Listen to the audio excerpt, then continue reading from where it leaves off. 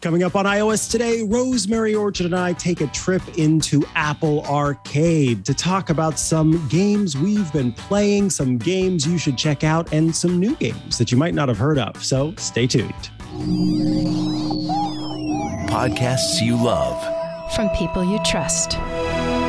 This is Twit.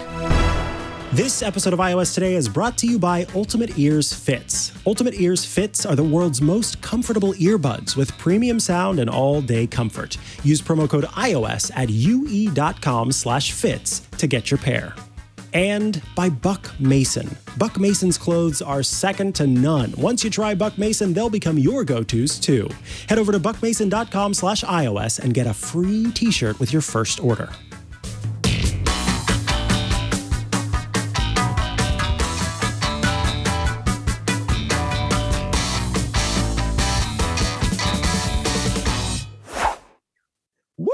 Here we are again for another episode of iOS Today. This is the show where we talk all things iOS, tvOS, HomePod OS, WatchOS, iPadOS.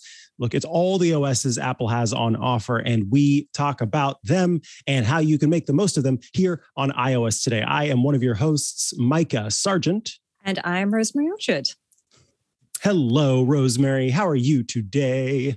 I've been very unproductive this week, Mikah. Um, you said Apple Arcade, so I went and spent like six hours playing games yesterday. Um, I, I, I kind of forgot to put some show notes together, but we'll just wing it, right? It's fine. It's yeah, fine. yeah, we'll get there in the end.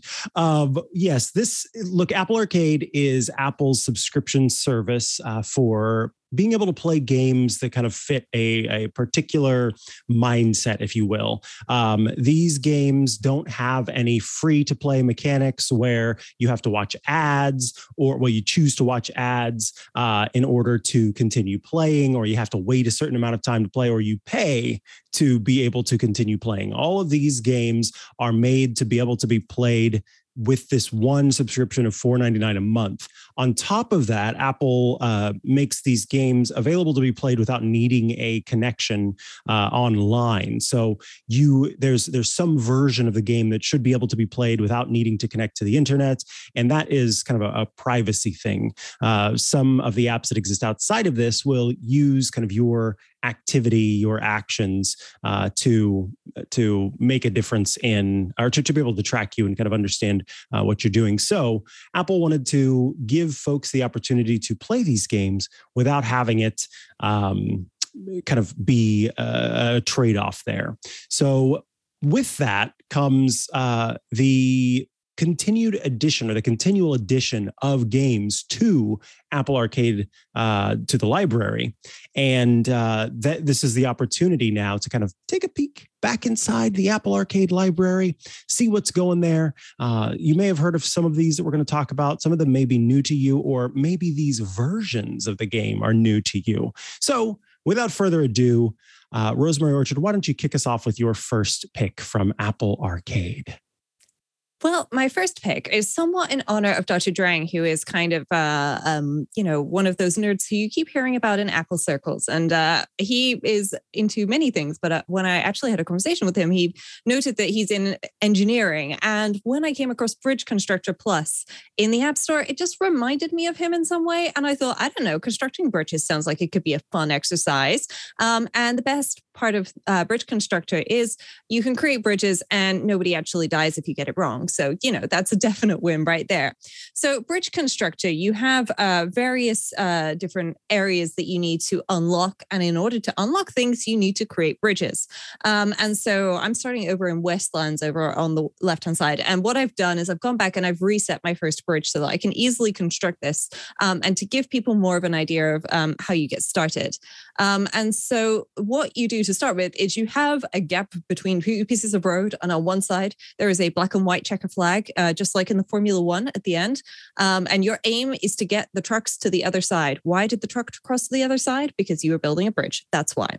Um, so to start with, you only have wood to build your bridge with, um, and this is this being the first one. They've given me a bit of a guide with an outline um, that I can just uh, you know put uh, some things on. So I have to start um, at one of the white dots And then from there, I can draw um, to various points um, to create an actual bridge. Now, it should be noted that triangles are pretty good structurally. Um, and so that's why I've gone with the triangles. When you're done building your bridge, you can hit play and it'll come up. It might be green or if you you've uh, failed somehow. Uh, so, for example, if I remove this this top section, um, it it it kind of goes yellow, orange, and then red if there's structural integrity laggings lacking. So I'll put that back together, and then um, oops, uh, I will run some large vans over it and see what's happened. So you have a bridge, uh, a budget for every bridge that you're building, um, and your job is to stay under budget um, or you know on budget if if that's um, a possibility, and you do get points for being under under budget or extra points, uh, bonuses. Um, and so when you've built your bridge, you can then continue on to the next one where it gets progressively more difficult. So I'm going to pick one that I haven't done because um, as you continue, it it does get trickier. Um, and what you can see here is I have a budget of 7,000. It does not specify which monetary units. So I'm assuming it's simoleons, just like The Sims, but you know, maybe, maybe it's not. Um, but if I needed some help, um, then I can tap on the light bulb in the top left and I can select to get a hint. Um, and then it'll give me some outlines of dotted lines that I need to complete in order to, uh, you know, make a structurally secure bridge. Um, so as I go ahead and build things, then hopefully I will find out uh, that I have made a lovely structurally strong bridge. So I'm just going to try and put that together, pop this one in here. And I'm going to guess that I need to do this over here as well. Uh, bridges are usually somewhat symmetrical. Um, mm-hmm. So I'm going to hope that that is what I needed to do there. And let's try. Oh, no, no, that was very definitely not secure. Um, I'm going to need to do something else here. I guess maybe I can do that to uh, increase the structural integrity. Nope. Possibly need to do something there. Eh, it could work. It could work. It's a little bouncy. We'll see whether or not the trucks make it. Hopefully they will.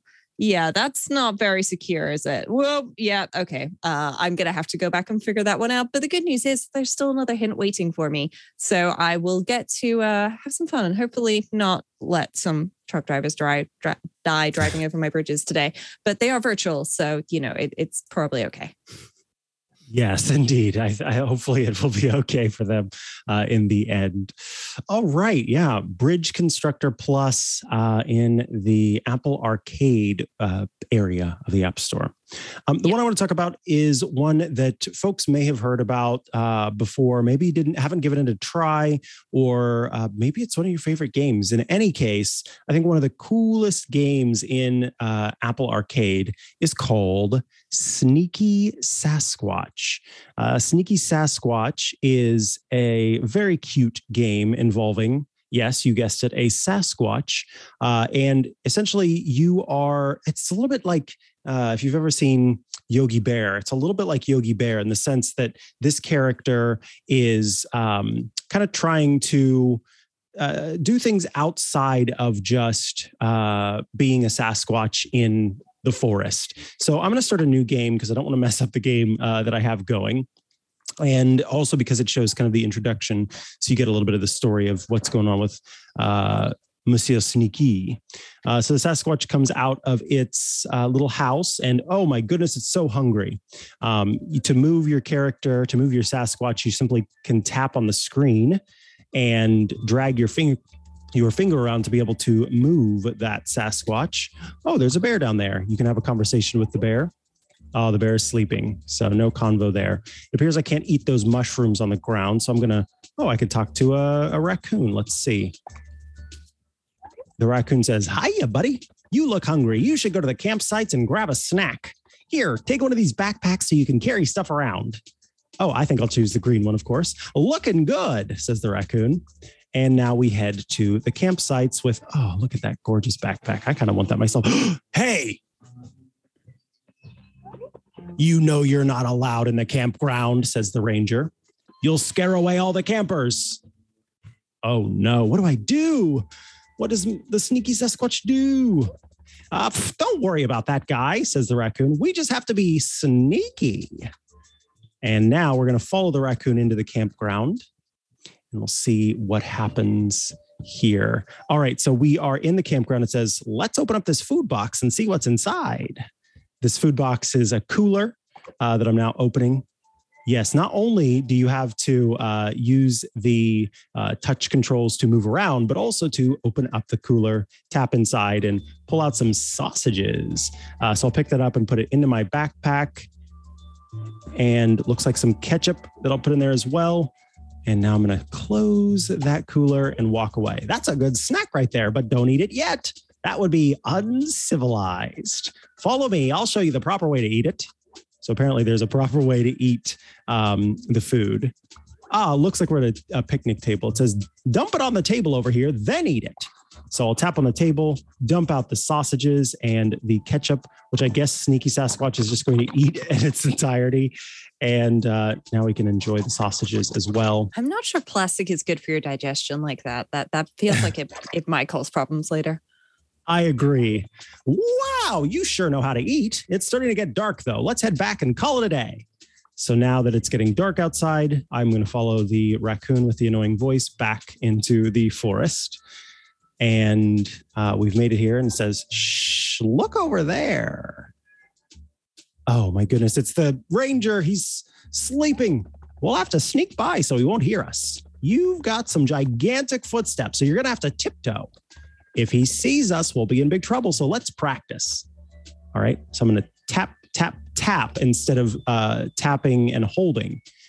To sneak past, you simply tap on the screen and you walk past the ranger. And it looks like we got through.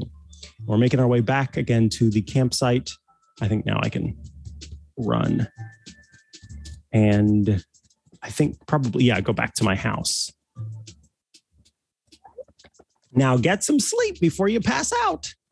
I don't want to have to carry you back to your house every night, but I will for a price. uh, the raccoon runs away, and we can make it back to our house inside and take a sleep. So we'll go to bed uh, because it's night and then come back to the daytime. Um, one of the things about this game is that although you start out in the I, I, no no true spoilers here, but you start out in the woods and you don't stay there, is what I'll say. Uh, you end up going to other places. You end up becoming um, a the sneaky Sasquatch is sneaky in all sorts of ways, including uh, kind of taking over jobs that maybe once belonged to humans. The Sasquatch is filling those roles and trying to kind of make their way through uh, through corporate life uh, is, is, the hint I'll give. Uh, so it's a very fun game with a, I think a, it's a really adorable story uh, that has lots of different stuff that you can you can play. Um, so that is Sneaky Sasquatch, uh, which again, Apple Arcade, four ninety nine a month uh, to be able to play this along with the other games that we're covering today as part of Apple Arcade. What's your next one, Rosemary? Well, my next one is based kind of a little bit on my love for Wordle and the fact that I've been enjoying doing lots of word puzzles recently. Um, and it's a great way to increase my vocabulary a little. So I went looking and I found SpellTower Plus, which has uh, a number of different essentially word search type options. So there's the tower, the puzzle, um, and you you need to play all of them at least once uh, to in to get to do everything. So you need to get um, a row for, or you get a row for every word that you make. So I, in this particular one, I need to try and make a word. Uh, uh, a word on every row, I presume. Um, and then it's going to sort of Tetris or reverse Tetris in that it's going to increase what's on my screen. So I need to uh, try and, and get some of these things off. And so, oops, I will try and get rid of uh, two things, or is that going to be, nope, that's not going to help me. Well, I'm just going to keep going here and see if I can try and get rid of some of the uh, more complicated ones X's and Z's are always really difficult. Um, and there are some letters which will come up and they'll have extra points if you include them. Um, and so if I include this A here, so I'll use the word vast for that, then uh, I get four extra points, which is pretty great. Uh, and I will use, uh, can I do hog? it's too short darn it so some of these will let you do three letter words and some of them will only let you do um, uh, some of them need at least four um, i'm going to see does leet count as a word It does. I am allowed to use delete. Excellent. Um, which, of course, you know, is um, you know, uh, a good word. Um, and then I just basically have to keep going to see if I can, um, uh, you know, um, finish this. Um, I am going to uh, save and quit that one, and I'll just uh, show people um, the um, the search one, um, which has a different scoring version. So each of these has different scoring methods. Um, and basically, um, in this one, there's a star in the middle. That is the letter that I really want to include in a good word. Um, and the the yellow letters would be great to include as well. Um, and so I need something with an I in it. Um, and there's a T, an S, a H, an N, an A, an E, a D, and an E around it. Um, hmm. Uh, can I you can I do hints? I can probably do hints. That's that's not a bad word. And so I got the star. Um, and that was the best word that I've I've managed there because I that was the first word I did. So there we go. Um, um, once you've done that, there's daily search, there's daily tower, kind of with leaderboard options and so on. Uh, there's also some extra modes with uh, Zen, double puzzle, bubble puzzle, etc., um, allowing you to try and compete in various different ways. But if you just want to have some fun, then you can just go into, say, for example, the tower option and see how many uh, words you can try to get. Now, I should note there are a couple of different ways of um, selecting things. So I've just done this one by tapping, and then you double tap on the last letter to complete your word. Um, but you can also do it by dragging. I found tapping a little bit easier, especially when you're dealing with diagonals, which are allowed, and you can do crossing diagonals as well, um, which is very nice if that is sort of thing the sort of thing that you uh, like to be able to do in these word games. Nice. That's uh, yeah. I that's a fun one. Uh, I mm-hmm. I love being able to do uh, word searches and stuff like that. So yeah, my, my problem is cool. always that I end up thinking of French and German words that I want to include, and I put it in, and it's like, no, you're not allowed this word. It's not a real word. And it's like, okay, the, you didn't specify I had to be playing in English. Darn it. yeah, what what's going on there? Um, let me. There we go. Uh, it's it's sometimes the the mirror works and sometimes it doesn't. This is one of those cases where my clock was backwards, but it's not anymore, so we're good. Um, all right, I think uh, we will take a, a, quick break before we come back uh, with more. Uh, I want to tell you, I, I, talked about this. Uh, I think a couple of episodes ago, and I'm really excited to have them as a sponsor on the network. I think everybody should have a pair uh, of the Ultimate Ears fits. Uh, as they are bringing you this episode of iOS today. With how much we rely on our devices, it's easy to forget about the hardware that we're born with. You know, the the ear, uh, just like fingerprints, no two ears are exactly alike. And that's why your earbuds probably cause you some level of discomfort or even physical pain after a while. I've heard people complain about, you know, they're wearing their earbuds and uh, it starts to hurt their ears. They have to take them out. They can't keep them in for very long. The Ultimate Ears Fits True Wireless Custom Fit Earbuds from Ultimate Ears are here to change that. Uh, I got a pair of uh, Ultimate Ears Fits in the mail. They sent some to me uh, to check out. And it's a pretty cool. It comes in this uh, box, and inside there is uh, the little charging case with a USB C port on the back, uh, so you can plug in and charge. And inside are your Ultimate Ears uh, earbuds.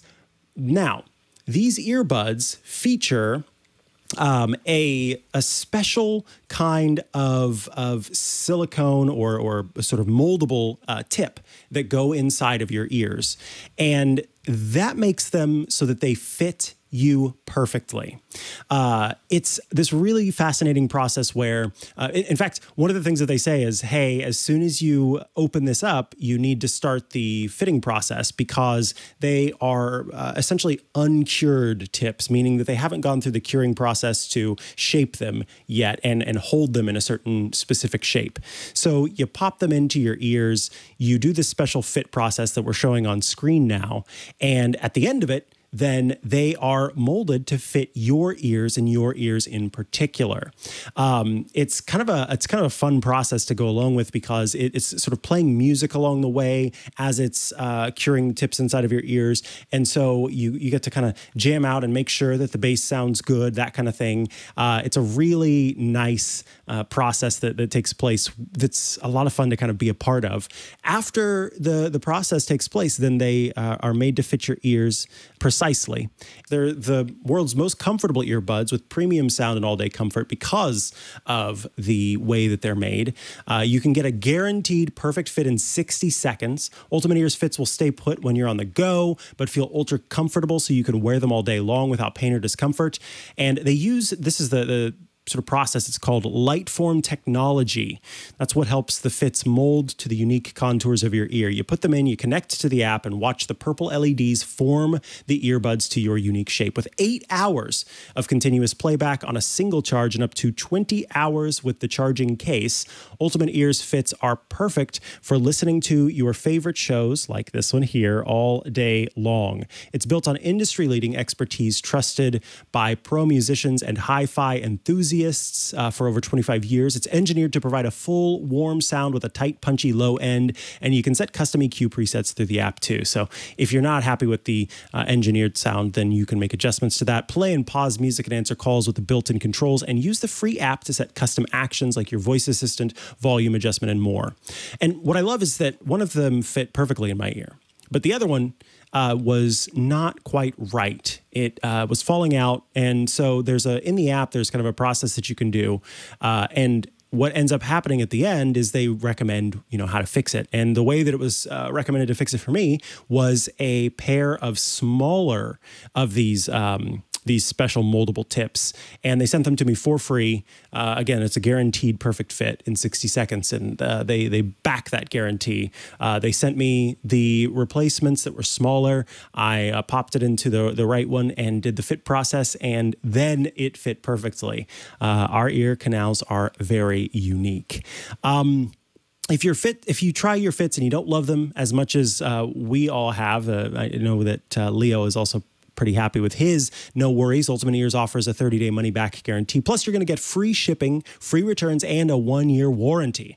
Whether you use one device all day or you switch between several, it's important to find tools that fit your routine so you can stay productive. Use the promo code iOS at ue.com slash fits. Super easy to remember. ue.com slash fits to get your pair of UE fits. Uh, uh, promo code iOS, that's ue.com slash fits. And don't forget to use that promo code iOS to let them know that I sent you there uh, as I was talking about those very cool earbuds uh, on today's episode. Thank you, Ultimate Ears, and let us get back to the show. Uh, this next app that I want to talk about is a very, it's very much kind of an, an idle um, app, but it is a lot of fun if you like to sort of if you like The Sims, uh, you may like this one. It is it's a very simple game. Um, although you can play it in survival mode, that makes it a little bit more difficult. Uh, but you're basically just creating a world. So I'm going to choose Start New Game, and we're going to name our world, uh, maybe. Oh, there we go. iOS Today. What an interesting name for a world. And now we are loading and says, Hi, welcome to Pocket Build. Let's show you the basics of the game. Uh, first, let's teach you how to build. Open the build menu and select the fence. Uh, great, now let's just close up the fence. Press the confirm button to build it. So I'll hit the checkbox to confirm, checkbox to confirm, and checkbox to confirm. Now you know how to build. Felt good, right? Some items will require resources to build. Let's teach you how to gather resources. Press the command icon to open up the human profile. I'm going to have this human finding wood. You have now commanded your human to go and find wood. They will run to the nearest tree and start chopping wood. You can add trees to collect wood, or you can add crops to collect food. You can also spawn more humans from the build menu. You can also control your character, collect resources, and explore the world in first person. So here, I am now uh, the character itself and I'm chopping this tree, and now I've got wood. Um, the world you build is fully 3D, meaning you can view it from various angles. Use two fingers to swipe up, down, and change the camera angle. So now I've got, I'm zooming in and zooming out, and I've got uh, the ability to kind of view from a bird's eye view or from the side and rotate to get it exactly how I want.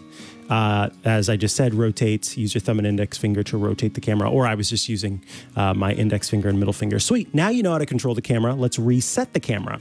So that's now reset. Uh, those are just the basics. If you need some inspiration, take a look at some of our featured worlds or go to the website moonbear.com for more great resources. So now that I've got this world, and again, I'm playing in sandbox mode, so I've got unlimited resources to use. I can tap the build menu and I can check out some of the items, uh, like Big Ben, if I wanted to.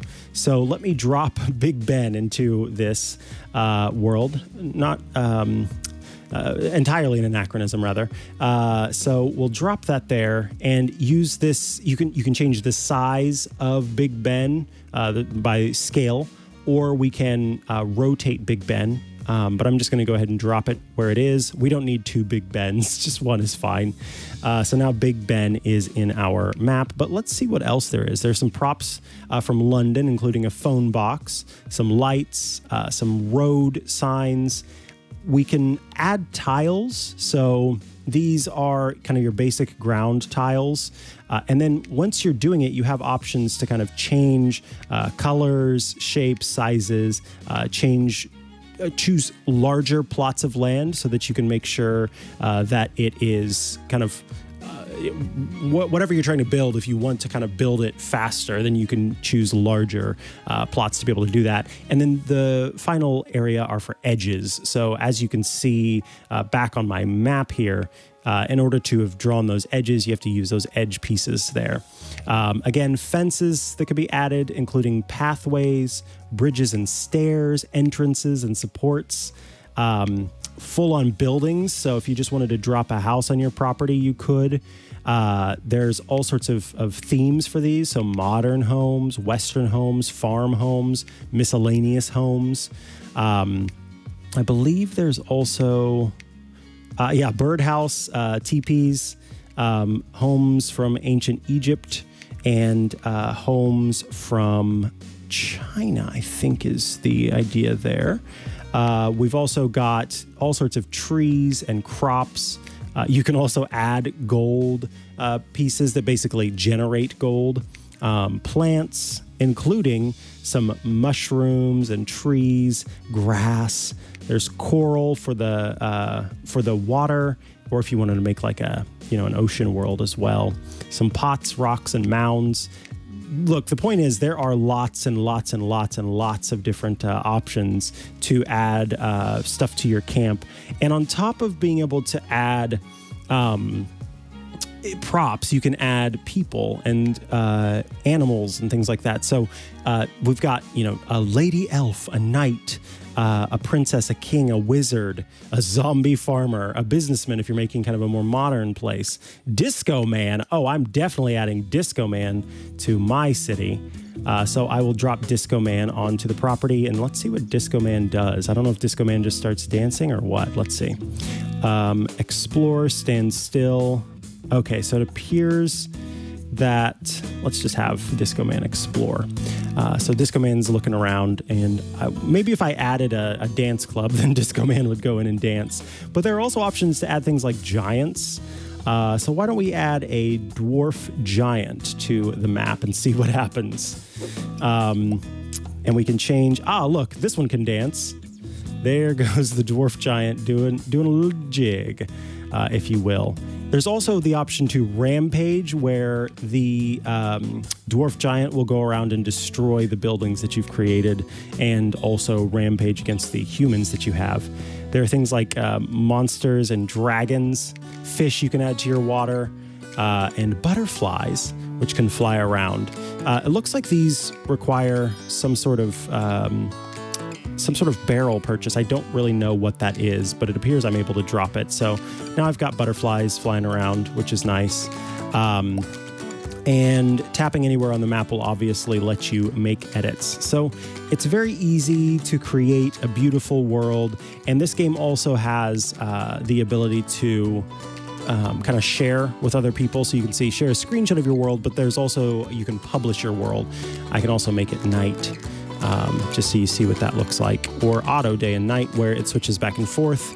Um, and the camera, oh, there, there's director mode, so you can kind of get a sweep of your world, uh, as well as the ability to stack items on top of each other.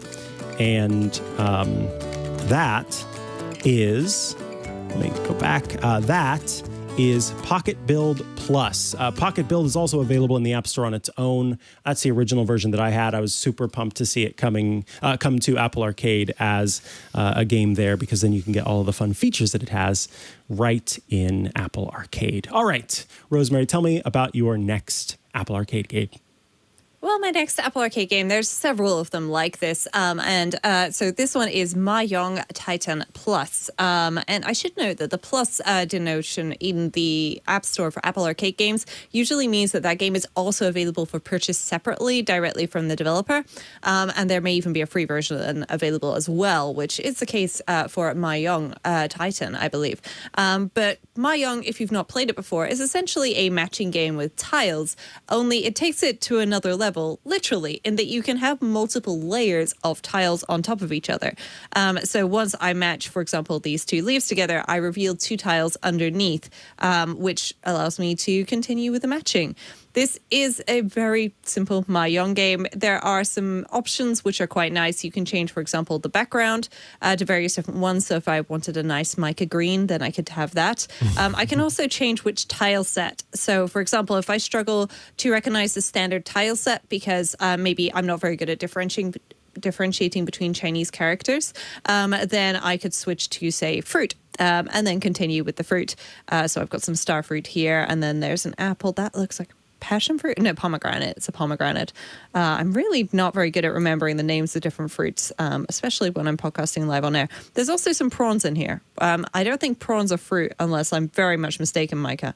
Um, you know, tomatoes, I, I understand that that being a thing because they contain seeds, which makes them, by definition, a fruit. But sushi, sushi is not a fruit why is there sushi in my fruit tile set?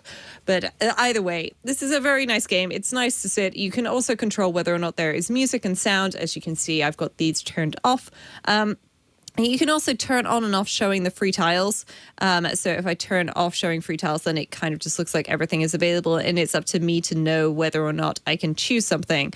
Um, so you know that that's an option that you can use to make it more or less difficult if you want to. You can also show the time remaining available, and of course, you do get uh, some extra points if you manage to complete this one it really quickly. Uh, I am not going to complete this in record time because obviously I've been talking uh, to you, to uh, you, uh, the listener, and Mikah as well as while I do this. But uh, I have completed the entire board, and I got no hints, um, and I did not have to shuffle the board, which is something else you can do as well. So if you get stuck, then you can have all the tiles shuffled to give you uh, another different view of the the deck or the board, so that you can attempt to solve your your problem that way.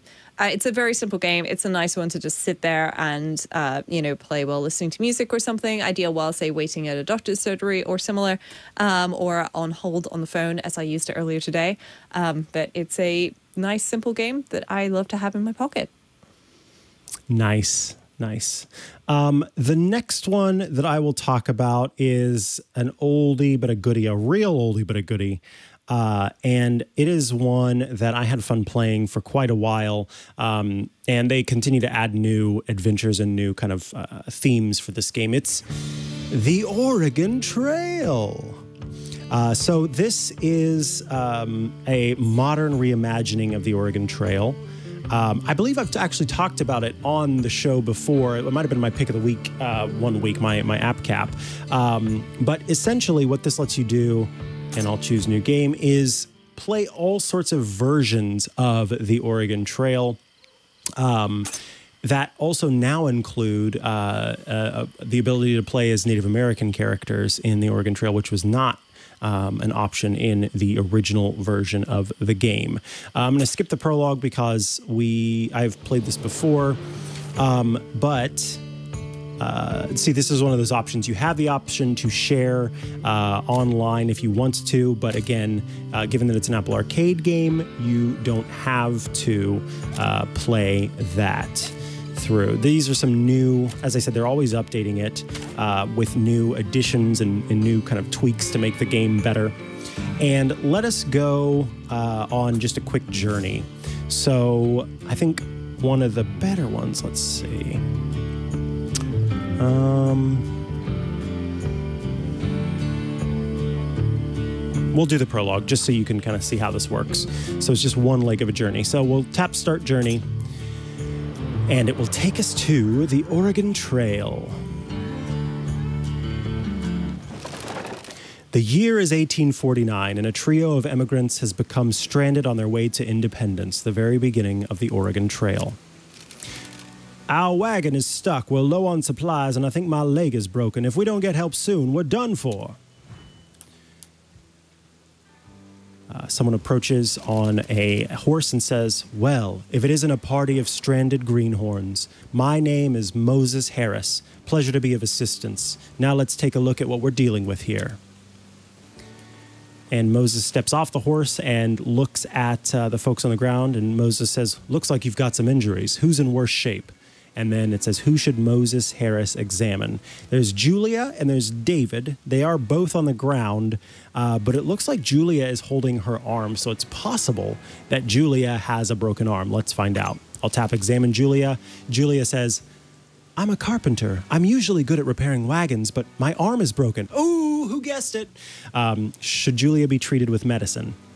Uh, I can reconsider and choose someone else. I'm going to go ahead and treat Julia with medicine and see what happens. So Moses treated Julia with uh, medicine. It says medicine can be used to restore health and help recover from illness or injuries, like a broken arm. Uh, you're looking better already, Greenhorn, says Moses. You'd better get that wagon moving again. Uh, the rain kind of clears up a little bit and says, "Well, what are you waiting for? If it is, it isn't going to fix itself, you know." so he's sort of shouting at them, like, "Get this wagon fixed!" They work together to get the wagon fixed. They jump for joy as the wagon is fixed, and uh, Moses says, "It's an improvement, but you should really take better care of your wagon in the future." Where are you going anyway? Uh, we're going to go to Independence. Ah, yes, Independence, the beginning of the famous Oregon Trail. It's not far from here, and I'm heading that way myself. What do you say you join me? We're saved, says the group. And they have a morale boost as they start to walk uh, their way toward the Oregon Trail. Uh, Moses says, Something smells good. And uh, the group says, Things are looking up. Although they do look a little bedraggled uh, as they approach the first stop along the way to Independence. It says, The pleasant scent of frying garlic and onion reaches the party long before the light of the cooking fires. A generous traveler says, Well, I'll be if it isn't Moses Harris, still have still saving travelers on the trail, I see. You look to be in a bad way. I'd be willing to sell you some supplies if you're interested. It's a good deal, just $30. $30? Sorry, that was my saying. Uh, in this economy, uh, Harris says, "Go ahead, Greenhorn. Saving money is only useful if you like if you live to spend it." In exchange for their money, the woman hands over some toolboxes, some clothes, some coffee, and a harmonica. I should teach you how to use those supplies. Let's try repairing your wagon first. And you can use those toolboxes to repair your wagon. So you open the inventory, you move over to your wagon, and you can see there are some red squares and an orange square. Red squares are holes in your wagon, and if you if items are on those holes, they will fall out onto the ground. So those are the ones you want to repair first. An orange square is going to become a red square, at which point then it will uh, an item will fall out. So I'll tap on the toolbox, I'll choose repair, and then choose the uh, red squares to get rid of those. I pro tip: I like to stock up on toolboxes quite a bit because then you don't have to worry about things um, getting lost. Uh, clothes will help with with your overall hygiene, which keeps you from getting sick. Coffee is an energy booster, and harmonicas are for raising your morale. Uh, I know about all those, so I'm going to choose continue. Continue, and the generous traveler says, "You look to be in much better shape now. Glad I could help. You're welcome to stay at stay a while if you'd like to rest." And the woman invites the group to join them for a meal. So they all sit down and enjoy a meal together, and. Uh, then they, you can see that plus one uh, party health because they ended up getting food. That is the Oregon Trail. That's just a very small tidbit of the Oregon Trail. Uh, it's a lot of fun to play through the whole thing. Try and see if you can get your characters to the end. Lots of different uh, options for who you bring on the party and what they provide. It's it's a survival game and it's uh, quite a bit of fun. Resource management, survival, that kind of thing. Um, all right, Rosemary, tell us about your last uh, Apple Arcade game. Well, my last Apple Arcade game is something I'm sure a lot of people are going to love. It's Sonic Dash. Uh, because, you know, who doesn't love to be a hedgehog and just run around the world? Uh, possibly literally. There's a couple of different places I've been so far. Um, so as you play Sonic Dash, you're running around. You need to try and collect coins, rescue animals, and uh, you also need to take some stuff out if it is going to attack you. Those were some bombs, I think. Uh, either way, not good. Um, so I'm going to try attacking this one. And oh, I need to jump because otherwise I'm going to jump into those spikes or run into those spikes, and that would be very much not good for me. Um, so yeah, essentially, you just need to run around and try and do all the things so that you can get points. And as we all know, points mean prizes. Uh, saving animals also gives you points, which is great. Um, so you can. Uh, hopefully do something decent with that. Um, and then you also get to jump very high up into the air and do some potentially cool uh, stunts, uh, which it will show you how to do occasionally. I was doing splits in the air earlier as uh, I prepped for the show, which was uh, lots of good fun. Um, I'm gonna try. Oh no, I I failed. I I ran into some boxes, or I tried to jump over the boxes, and apparently I should have gone around uh, because I am Sonic, but I am not supersonic yet. But maybe maybe by the time next time we talk about Apple Arcade, I will be supersonic. I guess we'll find out. Indeed. Um, the last one I just want to give an honorable mention to. Uh, not, we don't have time for a demo today, but I did want to talk about a newer game. It's called Gibbon Beyond the Trees.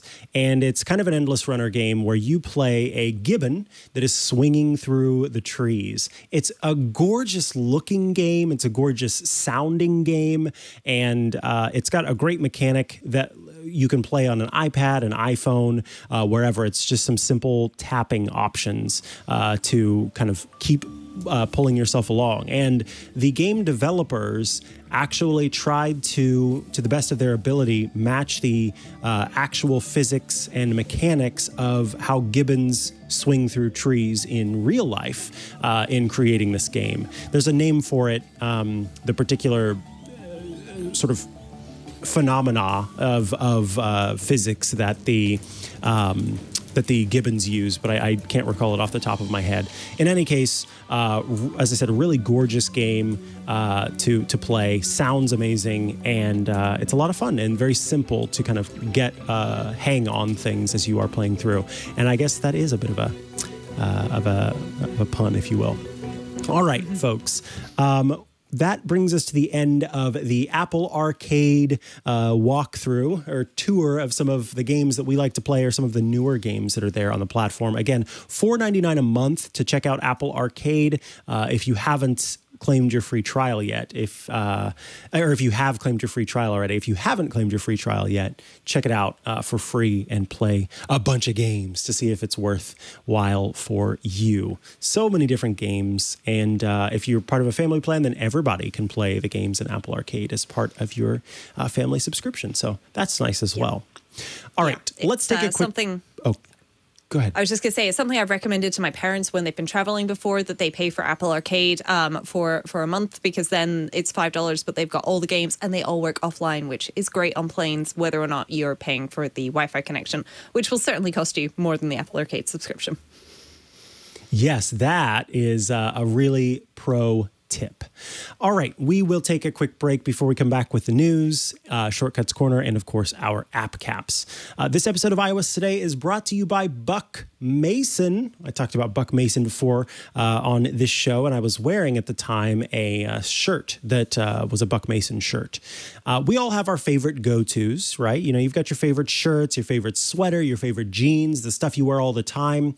Well, you may find that Buck Mason provides you with your favorite go tos. Uh, Buck Mason's clothes are second to none because they are the, the clever thing about Buck Mason is that they've chosen styles that are timeless.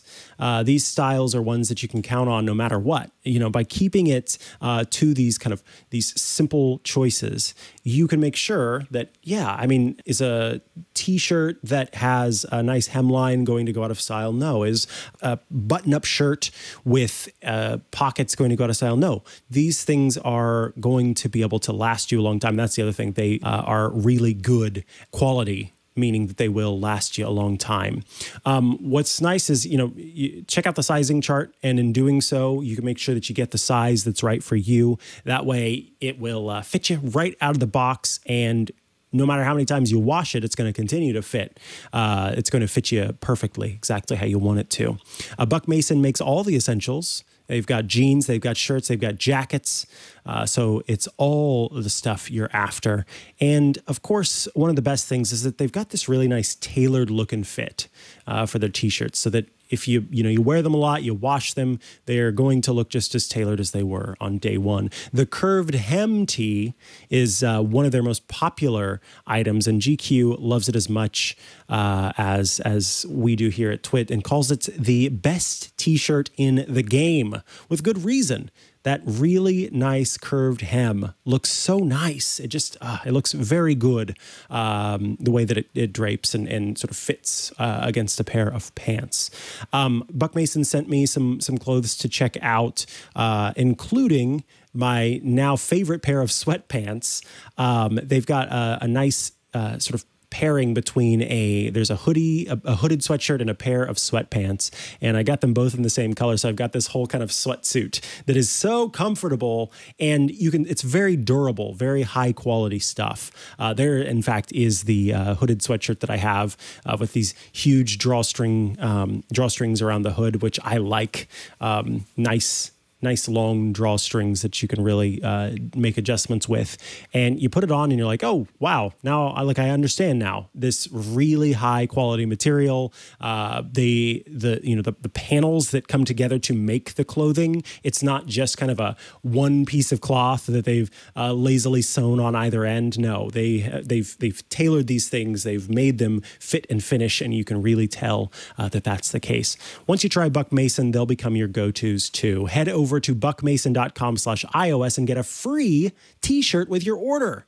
That's B-U-C-K-M-A-S-O-N dot com slash iOS to get a free t-shirt with your first order.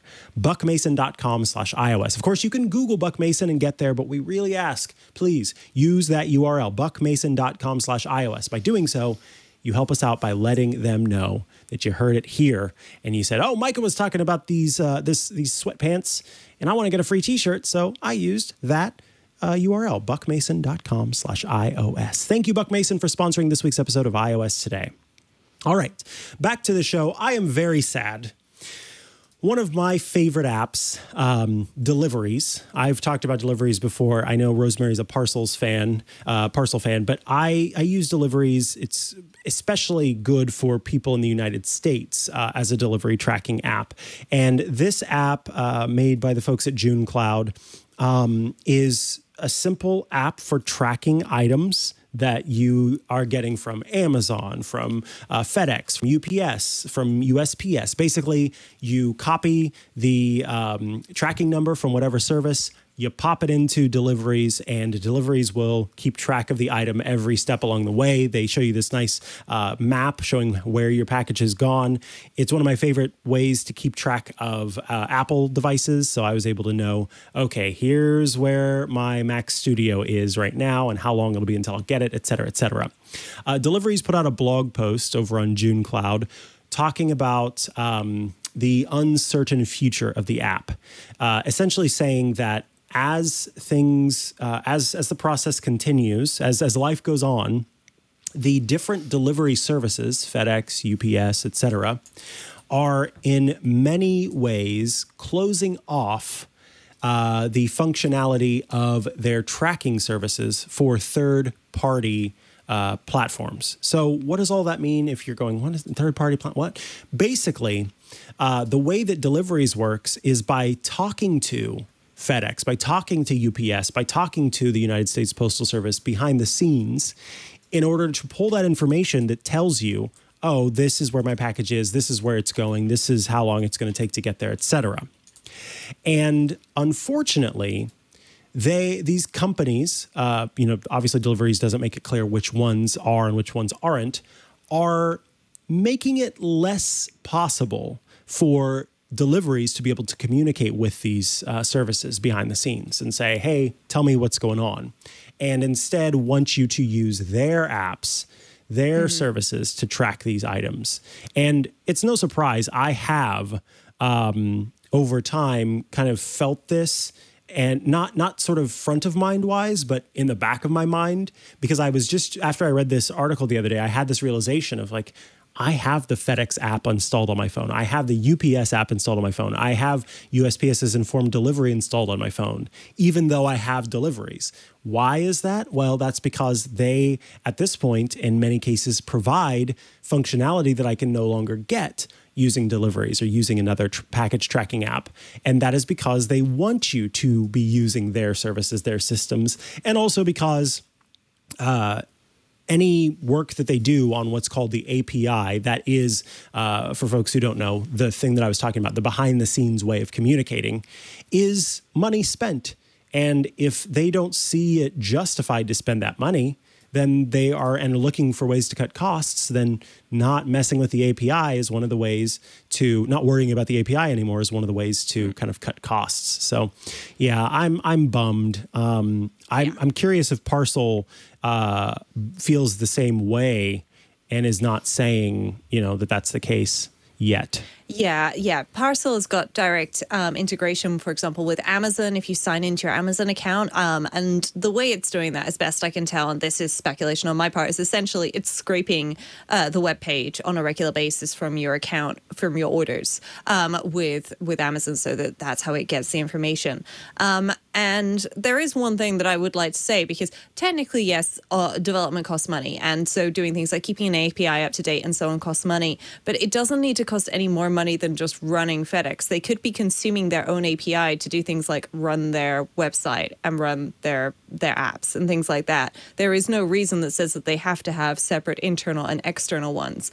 Um, so I do think it is just a case of we don't want third party developers to be able to compete with us and keep track of things because also, um, you know, I'm sure there are some people out there who, enterprising as they are, using um, it to track thousands of parcels that they're sending on a weekly basis and automatically uh, putting claims for any that have been delayed instead of having a person do it manually. Um, but you know, I, I think that it's a real shame that this is happening to deliveries. And I really wish um, that, um, you know, all develop, uh, all delivery companies would just let you track things in whatever way you like. For me, it's just incredibly helpful to be able to just keep track of, for example, Kickstarter uh, projects that I backed, which I I know it's going to ship, but I don't yet have a tracking number. That's something I can do in deliveries. I can put it in, and then when I get the tracking number, I can update it. That's not something I can do with FedEx because I don't know if it's going to ship with FedEx. Um, and quite frankly, FedEx isn't that popular over here in the UK anyway, um, at least when it comes to consumer stuff. So I guess we've just got to wait and see and hope that maybe some of these uh, people uh, change their minds or the people making these decisions realize that maybe actually save a buck in consumer an API and make it available to other people. Yeah, mm-hmm. I agree. Um, all right, let's uh, move along here. Um, Apple is making an update in the next version of uh, iOS 15 um, that basically renames iTunes Pass. Like, what is iTunes Pass uh, these mm-hmm. days? I don't. I why? What? Who? iTunes? Yep. Who?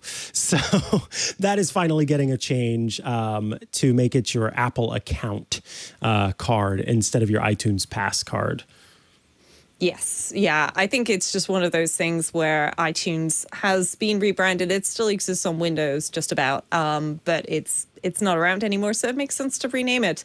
Um, and I don't know, maybe this will help with some of the confusion of when people bought like uh, App Store gift cards versus uh, Apple gift cards um, and tried to use one for the other and it didn't work. Um, and so on and so forth. Who knows? Um, but it's it's being renamed, and that's that's probably about time. I agree. It uh, yeah, that I think that was more like a oh right, we forgot about that. Need to make a change yeah, to yeah. that.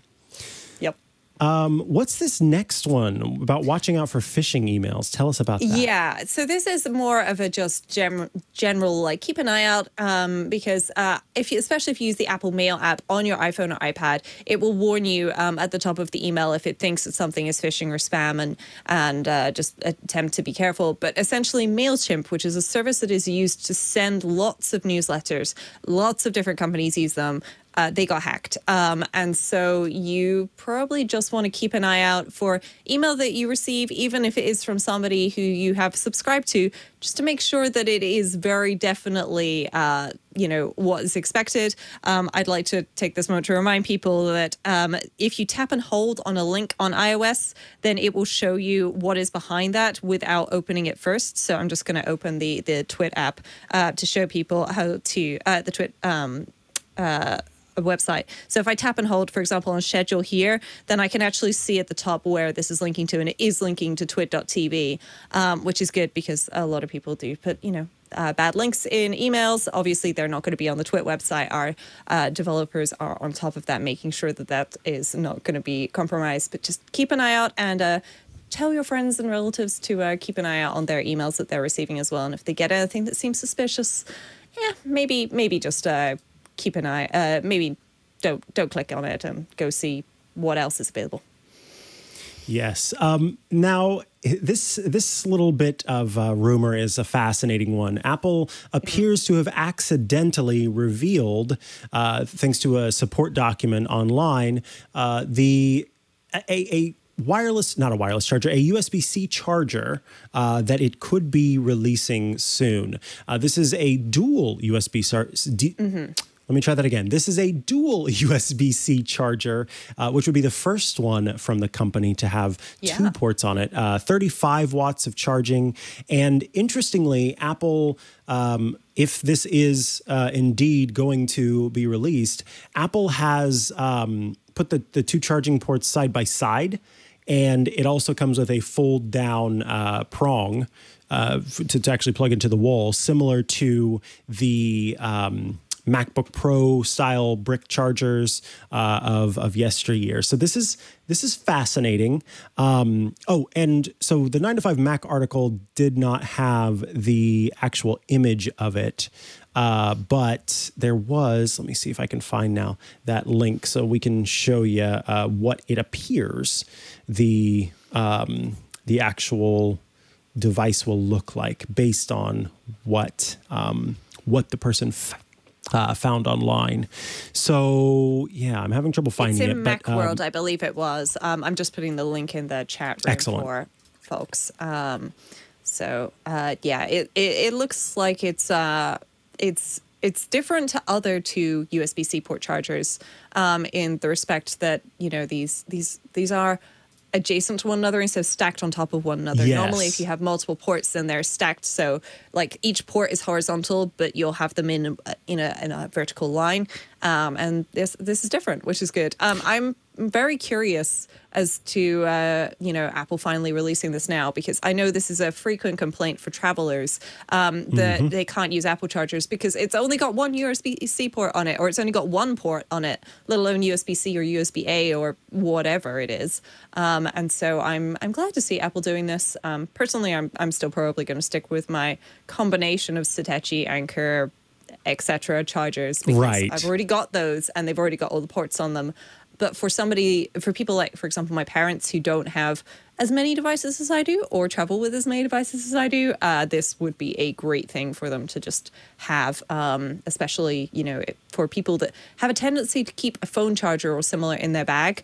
Uh, this would be an excellent upgrade um, for for them because then they can charge two things. Um, and it's always nice to be able to make a friend um, when you're charging things. I've done that at airports before. Somebody's had like, you know, one of those old five watt iPhone chargers plugged in, and I've been able to say, hey, uh, do you mind if I plug my charger in and you can plug into my charger and it's going to charge your device faster? Much faster. I've never had anybody say no to that, and they've always been pleasantly surprised when their phone charges ridiculously quickly um, in comparison to the five watt that they've been they've experienced before. So yes, this is um, a, a great thing that uh, Apple hopefully, fingers crossed, will release soon. I agree. Um, it's also interesting that there are the divots on the side. That is uh, mm. not this 100% is, Apple style. Well, this is the same as the 20 watt um, USB C charger that you would get with the HomePod uh, right now, the HomePod Mini. Um, it's the same as the one that comes in the box there, except for the fact that it's got a second port on the bottom by the looks of it.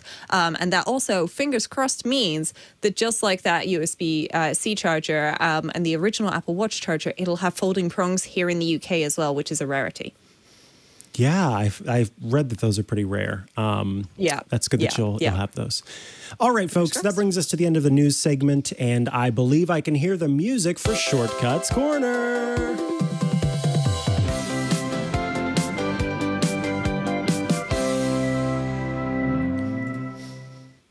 This is Shortcuts Corner, the part of the show where you write in with your shortcuts requests, and Rosemary Orchard, the shortcuts expert, provides a response.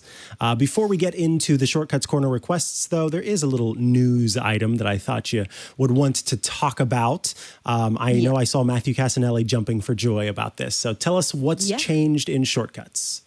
Well, this change is actually it's shortcuts related, but it's technically shortcuts for the Mac because a while ago shortcuts on iOS got support, or rather the iWork apps on iOS got support for shortcuts with being able to open documents and do things like append a row to uh, a numbers sheet, for example.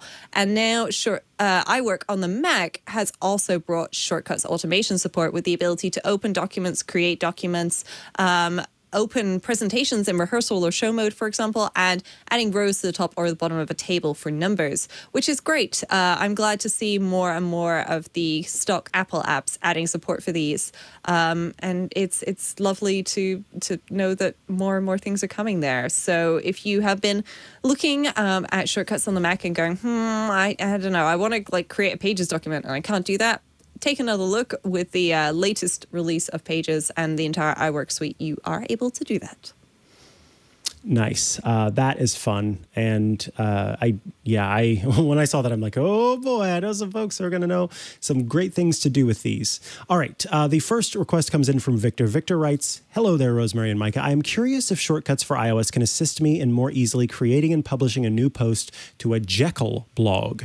My current workflow is a template in Bear, which I copy and paste into a new note, fill in the appropriate front matter or post content, then export to files as a markdown document document and finally publish using working copy. An ideal shortcut would display a series of text fields which I could use to fill in the post title, date and time, category tags, and URL for linked list style posts, and then populate the corresponding front matter.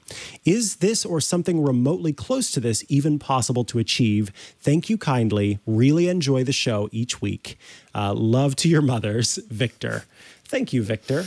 Um, Rosemary, it looks like there's a link in the show notes, so you got something.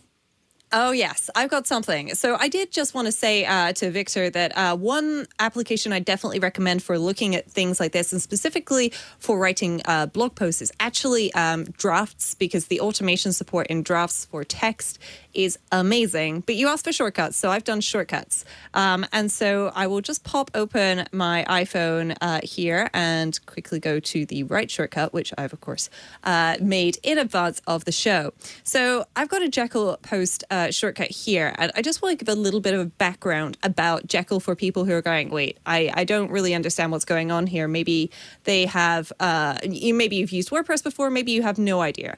Essentially, every single post that you put on a Jekyll website website is just a text file. And at the top, you've got three dashes, and then you've got a series of keys and values. And so, for example, title would be a key, and then you have colon, and then you'd have whatever the title of the blog post is. Same with um, the date, uh, categories, and so on and so forth. Now, categories tags are a little special because uh, they're they are arrays of um, uh, of words, but that's a problem I'm going to leave to solve for Victor because obviously Victor knows Victor's blog best. Um, but what I've done here is I have put together uh, some things where we've got a list, um, and Victor said something interesting, which was that the URL may or may not actually be something that he wants to include. So I've put together title, date, category, URL. You can add tags to this by just tapping add new item and then typing in tags.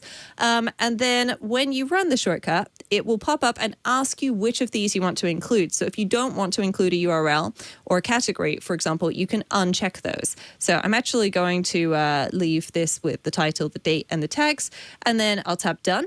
And then it's going to ask me for the title. So I can say Hello World is my title and tap done. And then date and this you should probably input a properly formatted date, but I'm just going to put in tomorrow uh, for the time being. And then tags and I will just put in hello, comma, uh, comma, and then world again, because that's the example I'm going with today. And then I've chosen to create a draft with this, um, and I'm running the beta of drafts, but this is what um, I've output as the result. So we've got the title, we've got the date, and we've got the tags. Now, of course, there is a flaw in this, in that um, the date didn't have a date picker. And so what you could do is you could um, have a separate ask for input um, and instead of asking for text, ask for a date and then just input that in here um, separately. That's a possibility. It really depends on what it is you want to do. For my own personal Jekyll blog, I've got a system which I've set up in drafts where I can get all the tags and the categories so I can choose from those. But that is something that you would then need to customize your blog for, which might be something that you're up for, Victor, might not be. Um, either way, feel free to uh, get back in touch with us to find out a little bit more about that if you want to.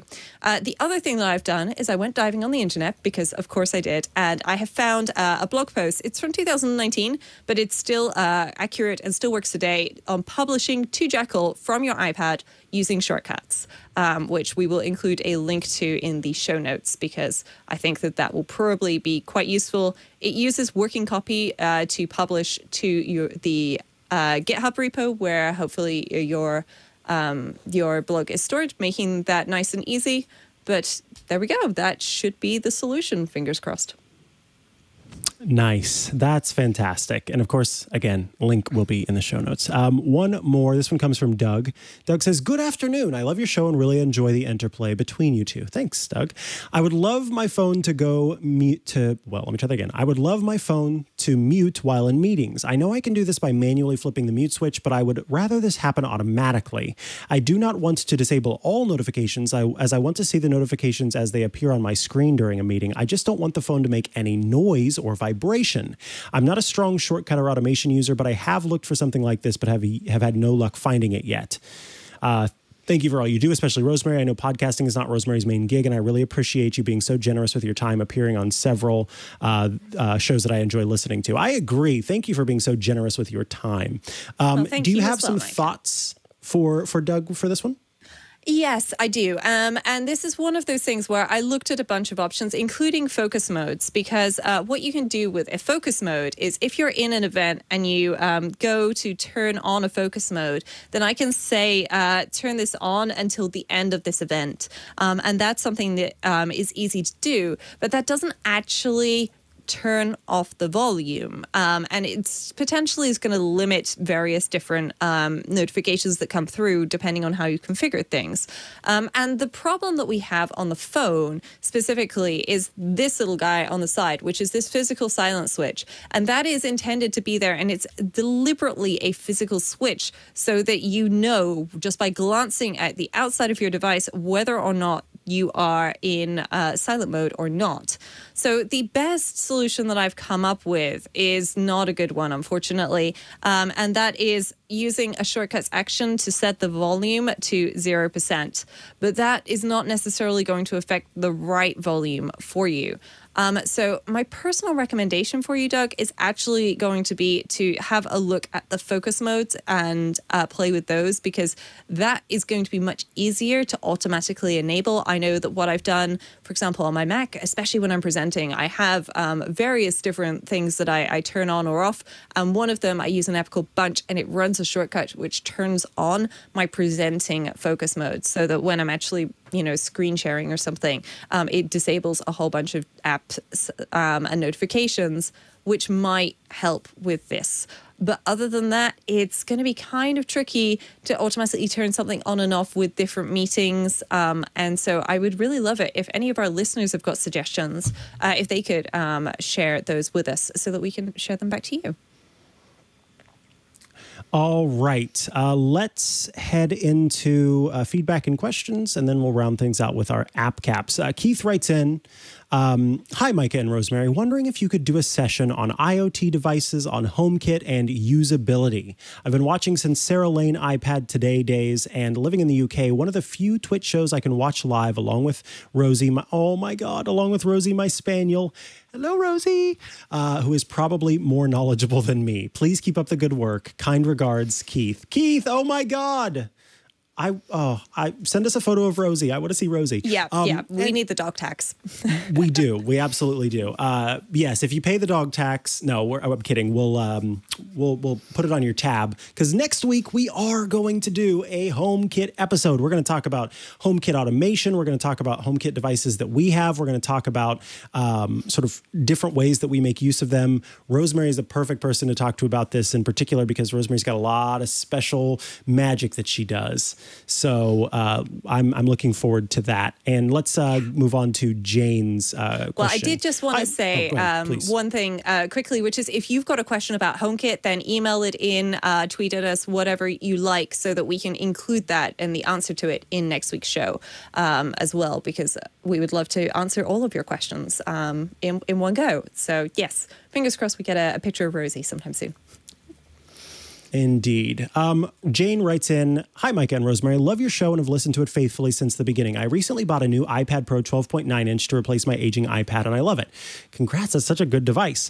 I have discovered my Joby iPad mount won't accommodate my new iPad. Is there a mount you would recommend? I typically mount it on a camera tripod. Also, I'm looking to find a good lighting solution for my video calls. I've looked at Loom and Elgato. I sometimes use my oh Lume Cube uh, for photo work on my iPhone, and I'm looking toward the Elgato with the eye towards an Elgato mini controller in the future.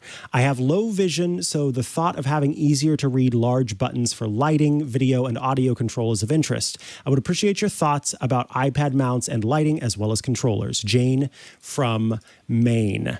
Uh, P.S. My desktop OS is Windows 10. I use my iPad Pro for video conferences and other video work. Can I use a physical controller like uh, the the Stream Deck with my iPad Pro. I use the iPad Pro when doing video as my display. One day I'd like to use my iPhone as a video source to my iPad Pro if possible. Um, so there's a lot going on there. Uh, some things that are possible, some things that aren't.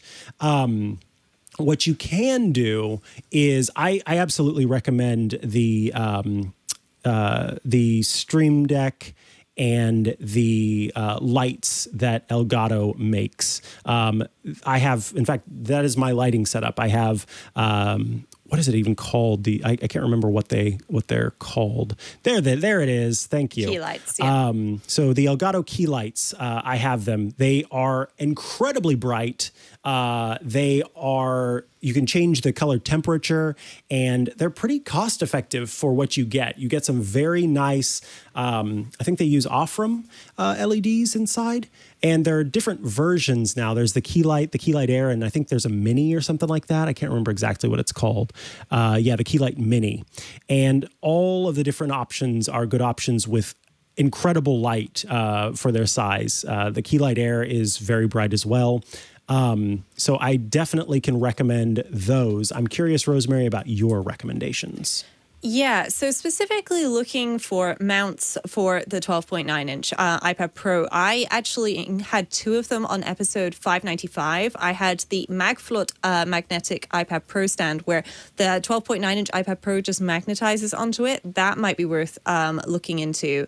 Um, and so I, I would recommend looking at that. The 12.9 inch, you may struggle to find mounts that specifically fit on a tripod. Um, so, but there are some on Amazon. Unfortunately, I am not in the US, so my Amazon links over here um, are not they don't translate um, for the few things that I've tried over the years. Um, so it might just be worth having a look and uh, maybe trying and using Amazon's return policy if it doesn't work out for you. Um, the only thing that I will say is you are not going to be able to use your your iPhone as an input for your iPad or an Elgato Stream Deck on the iPad at the very least at the moment. That may change with iOS 16 or possibly 17. We don't know what the future holds for us yet. Um, but right now, uh, it can't be used as an input or a controller on that device. So you are going to want to plug it into your Windows machine um, to, to use it there. Um, though you can use your iPhone um, or iPad as video input on those Windows machines, which might be worth looking into uh, for that. Um, and there's a couple of different options for that. Um, using things like OBS studios and so on, but it really depends on what you're trying to do um, as to whether or not you'll be easily able to accomplish it. All right. Um, with that, it's time for App Caps.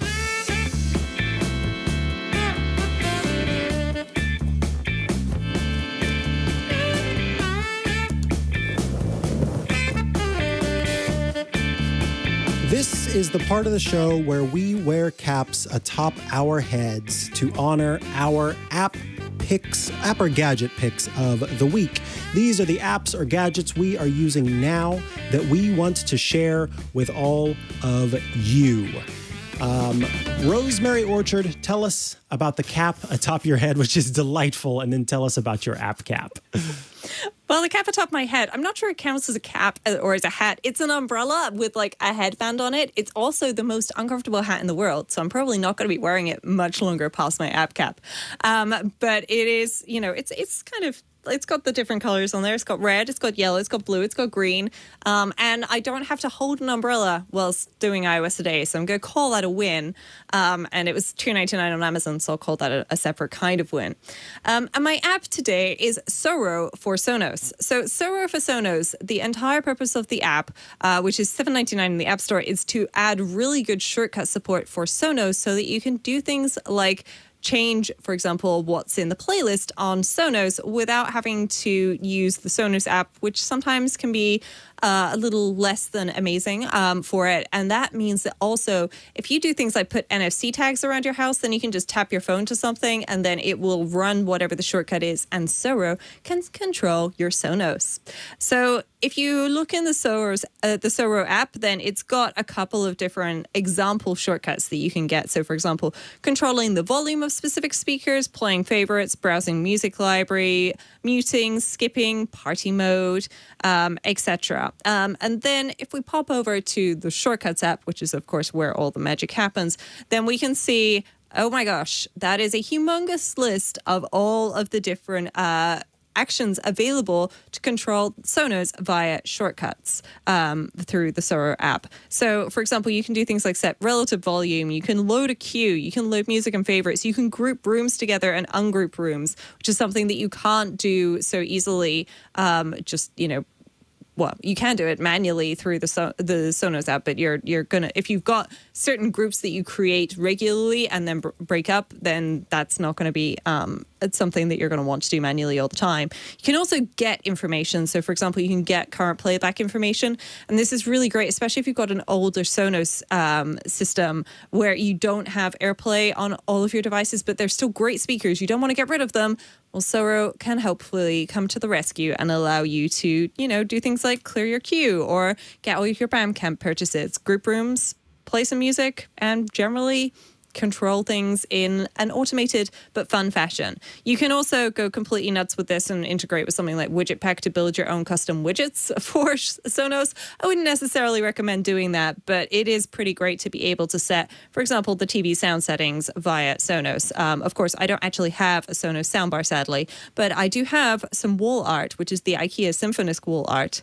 Um, and so I can um, you know, set that. Um, I can set night sound. I could set speech enhancement, um, and I can choose whether or not I see the action when it runs. So basically, this is a great app. It is not cheap, but also if you've already invested in the Sonos ecosystem and you do just want a way to automatically control Sonos through shortcuts, then it's a worthy investment. Nice. All right definitely check that out. Um, today, I am wearing a head wrap atop my head. I do put whenever I uh, do a deep conditioning treatment on my hair, I will typically put uh, a head wrap of some sort on. Uh, it's silk, and so it keeps my hair protected uh, while I sleep. So I thought I would show a little of my personal life in my uh, app cap for today. Um, The app cap that I want to talk about is one that folks may know about, but I wanted to mention it because it is uh, there. There have been some new additions to the uh, to the the system. So this is DuckDuckGo, the privacy browser, and it is a browser that lets you surf the web while maintaining your privacy. It has a lot of different protections in place uh, to keep your information from kind of being tracked across the web, uh, and including this button that is a kind of burn it all down button. Uh, it says personal data can build up in your browser. Yuck. Use the fire button to burn it all away. Give it a try now. When I tap that button, it completely clears all of the data that's been saved uh, in with the browser and also the tabs that I've been to before.